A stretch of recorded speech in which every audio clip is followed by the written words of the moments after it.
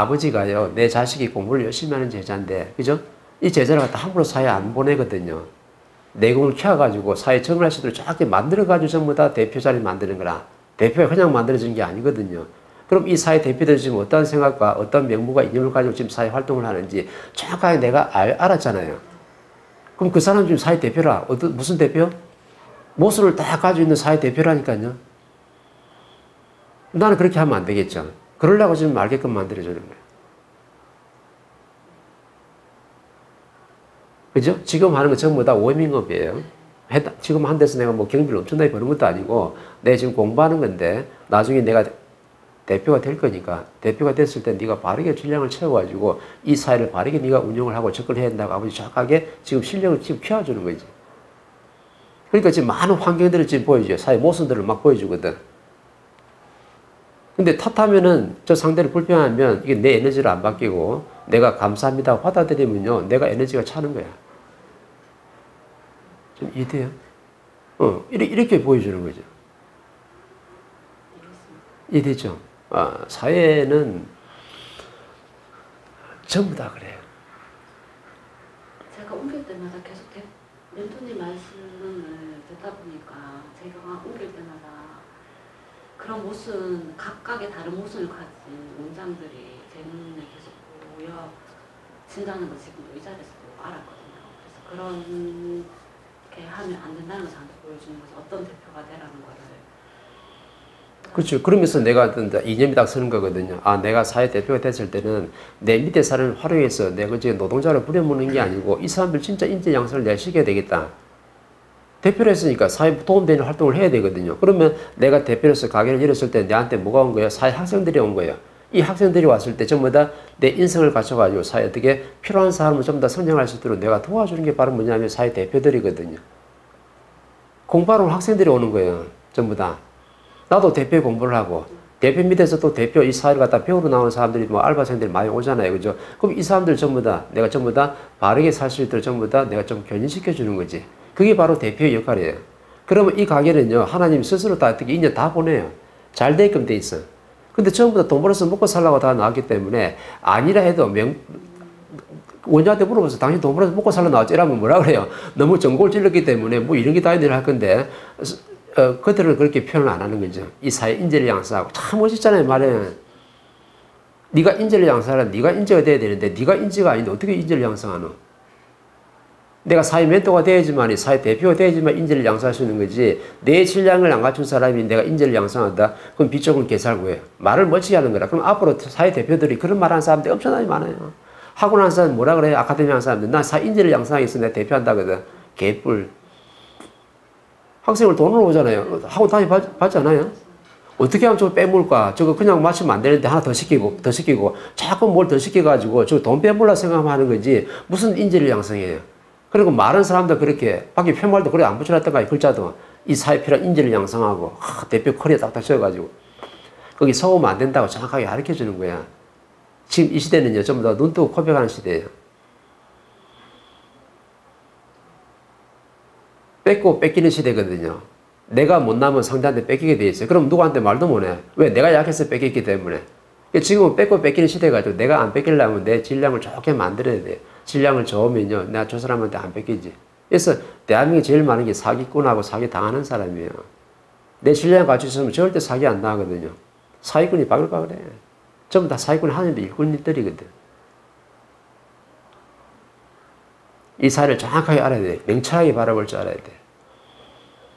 음, 그 안에 난 내 공부를 하는 거고, 내가 남이 될 사람이 아니거든요.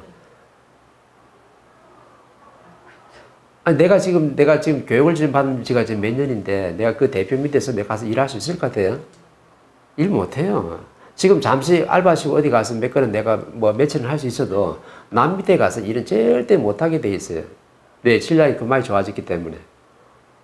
그러면 이제 내 걸 해야 되는데, 내, 내 도량을 열어야 되는데, 그러면 내 도량을 열었을 때 자연히 정확한 인연 다 보내주죠. 그때는 내가 사람을 처리할 수 있는 그 힘도 있고. 음.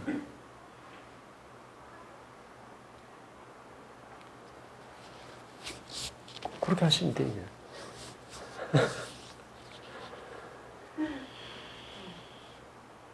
그래서 공부가 답이라고 얘기하는 게 바로 그거예요. 왜? 요즘 사기꾼들의 질량이 엄청 좋거든요.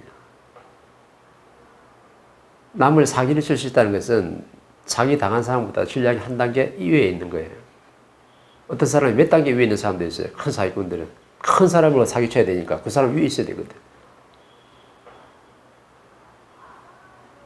그래서 내가 이 사회에서 사기를 안 당하려면 그 사기꾼을 뛰어넘는 내가 인성 교육을 내가 갖춰야 된다는 거죠. 내 질량이 좋으면 절대 흔들 수가 없어. 그런 사람조차도 잘 인연으로 안 보내요. 왜? 보내봐야 저 사람한테는 잽도 안 되니까. 질량 좋은 사람한테는 그런 사람을 안 보내요. 그러니까 질량을 채우라고 자꾸 그런 환경을 만들어내는 거예요. 음. 내가 많이 착하거든. 착한 사람한테는 그런 사람이 딱 돼. 참 그죠? 착하면 저 사람을 참 착해서 이쁘게 보고 바르게 이끌어줘야 되는데 저거 어떻게 내가 활용해서 내가 등쳐먹지? 요 생각만 하는 거라. 그러니까 뭐라 그래? 투기하라잖아요. 투기거든요. 투자 아니고. 멘토한테 커피 한 잔 사주는 거는 투자예요.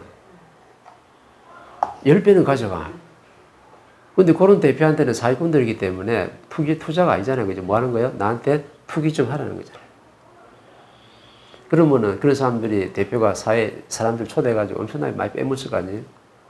다 빼먹고 나면 내보내고.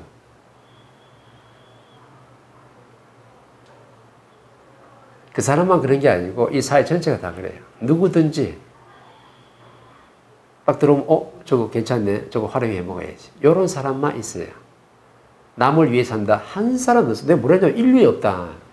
이 지구촌에 남을 위해서 내를 불사할 수 있는 사람이 한 사람도 없다는 거죠. 근데 참 자연을 어떻게 만드느냐면요. 내가 내 앞에 있는 사람을 위해서 내가 살잖아요. 그럼 이 사람이 빛나요. 내가 이 사회를 위해서 살잖아요. 그럼 이 사회가 빛나요. 내가 이 대한민국에서 살잖아요. 그럼 대한민국이 빛나요. 내가 인류를 위해서 살면요. 인류가 전부 다 빛나요. 그럼 내가 내 앞에 있는 사람을 위해서 빛나는데 내를 위해 살면 어떻게 되느냐? 나는 고립되고 외톨이가 돼요. 내 주위에 사람이 한 사람도 없어요. 결국에는 없어요. 그 대표가 지금은 내 주위에 사람이 있는 것 같죠? 그러면은 내를 위해 살면 나 나중에 어떻게 될까요? 정확하게 고립되죠. 내 주위에 한 사람도 없다. 인재 양성 커녕 니를 따라주는 사람이 한 사람도 없는 거예요. 근데 내가 가게를 하나 열어가지고 내한테 오는 인연들이 있어 내가 살면 이 사람들 전부 다 빛나게 살 것 같잖아. 그럼 이 사람들이 빛나게 살면 빛나게 사는 사람이 내려 가만히 냅둘까요? 나도 같이 빛나요. 근데 내를 위해서 사는 사람은요, 내가 빛나게 만든 사람이 한 사람도 없기 때문에 나는 고립되고 외톨이로 살다가 죽어야 돼요. 그래서 지금 50대 지점이 되는 사람들이 전부 다 한때 참 잘 나갔는데 나중에 50대 지나니까 내 주위에 친구 있었어요. 없어요. 40대까지만 해도 그나마 좀 있었어. 근데 50대 지점을 딱 맞이하니까 내 주위에 사람이 없네. 사람이 있으면 절대 외롭지 않죠. 내를 위해서 살았지 내 앞에 있는 사람을 위해서 한 사람도 산 적이 없기 때문에 내 앞에 있는 사람을 내가 빛나게 만들지 못해서 나도 빛나지를 못한다. 그래서 정확하게 고립돼 가지고 나중에 혼자 외톨이가 되는 거예요. 그 공부를 지금 시킨 거예요. 우리 관음도 봤잖아요. 저는 보살 보리하면 관음이 내를 위해 사는 게 관음이에요. 내가 남을 위해서 살면요. 남이 나한테 와가지고 받들어 모셔요. 바다를 모시기 때문에 모하대 보리하면서 그 관음상 앞에서 어떤 사람이 엉덩이 쳐들고 그렇게 공경을 표하잖아요. 하, 나는 관음을 갖다 이렇게 내가 높이 받들어서 공경합니다. 라고 지금 보여주는 게 무슨 말이냐면 관음이 내를 위해 살지 않고 이 남을 위해서 이 사회를 위해 살면은요 모든 백성들이 나를 전부 다 어떻게 돼? 다 무릎 꿇고 전부 다 받들어 모신다고 그 장면을 지금 정확하게 지금 보여주는 거야. 근데 내를 위해서 사는 사람이 내가 빛난다? 어, 그런 법은 없어요. 근데 우리는 그 장면이 뭔지도 모르고 지금 하는데 이걸 정확하게 연구하면 그 말이 그 속에 다 포함되어 있는 거예요. 네가 이 사회와 이 국민들 위해서 살고 있으면 정확하게 이 백성들이 니를 갖다 저렇게 무릎 꿇고 좀 다 받들어 공경한다. 라고 보여주는 거죠. 근데 사람들 전부 다 내를 위해 살라 그래. 아직도 이 강의를 열심히 듣고 있는 사람도 법을 갖추고 있는 사람도 아직도 내를 위해 살라 그래. 나는 내를 위해 살라고 말한 적이 한 번도 없어요. 왜? 내를 위해 살면 그- 결국에 어떻게 돼? 나는 어떻게 돼? 고립되고 외톨이가 될 거니까. 내 주위에 사람이 한 사람도 없다. 그 멘토 주위에는 왜 사람이 좀 있고 막 사람이 올까요? 그렇죠. 내를 위해 살지 않거든요. 내 앞에 오는 사람을 위해서 살기 때문에 내가 이 사람을 빛나게 만든 만큼 이 사람도 어떻게 나를 갖다가 빛나게 정확하게 만들어주죠. 자는 이렇게 상생하도록 만들어 거예요.